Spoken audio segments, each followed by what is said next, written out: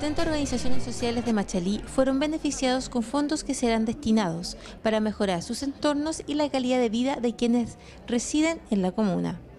Organizaciones deportivas, juntas vecinales, agrupaciones de mujeres, centros de madres y adultos mayores, entre otros, recibieron un aporte municipal que en total asciende a los 51 millones de pesos.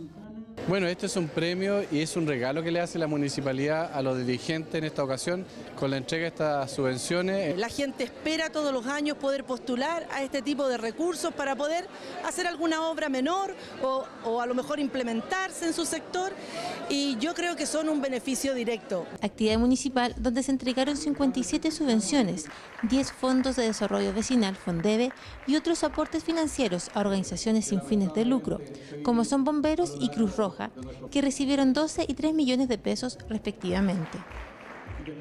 Para nosotros es una ayuda muy grande porque nos ayuda a mantener los comedores abiertos y la once del adulto mayor y entregar mercadería para el año para la gente que lo necesita.